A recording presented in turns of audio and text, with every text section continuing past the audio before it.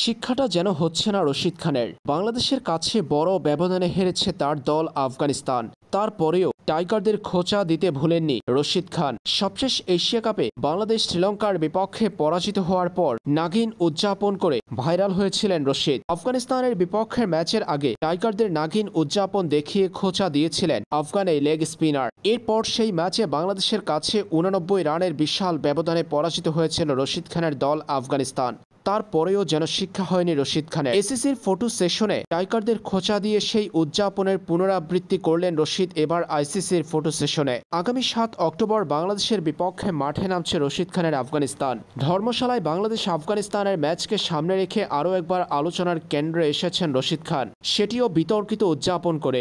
আইসিসির ফটো সেশনে সাকিব লিটনদের নাগিন উদযাপন দেখিয়ে খোঁচা দিলেন রশিদ খান। বাংলাদেশের বিপক্ষের ম্যাচের আগে এমন বিতর্কিত উদযাপন করে থাকেন রশিদ যেমনটা গত এশিয়া কাপে টাইগারদের বিপক্ষে মাঠে নামার আগেও করেছিলেন আফগান এই লেগ স্পিনার। এবার আইসিসির ফটো সেশনে সরাসরি নাগিন উদযাপনে বাংলাদেশকে খোঁচা দিলেন রশিদ খান। ক্রিকেট বিশ্বে বোলিং দিয়ে যেমন প্রশংসিত রশিদ, ঠিক তেমনি বিতর্কিত কর্মকাণ্ডে সমালোচিত হয়ে থাকেন আফগান এই তারকা। টাইগারদের বিপক্ষে মাঠে নামার আগে রাশিদ খানের এমন বিতর্কিত উদযাপন উস্কে দিচ্ছে সাকিব বাহিনীকে। ক্রিকেট বিশ্বে বাংলাদেশের বিপক্ষে ভারতের ম্যাচ, শ্রীলঙ্কার ম্যাচ কিংবা আফগানিস্তানের ম্যাচ হলে ছড়াই উত্তাপ। এবার ম্যাচের আগে রশিদ খানের এই উদযাপন টাইগারদের ম্যাচে কতটুকু প্রভাব ফেলবে সেটাই দেখার বিষয়। শনিবার বাংলাদেশ সময় বেলা এগারোটা ধর্মশালায় আফগানিস্তানের বিপক্ষের ম্যাচের মধ্য দিয়ে এবারের বিশ্বকাপে যাত্রা শুরু করবে বাংলাদেশ।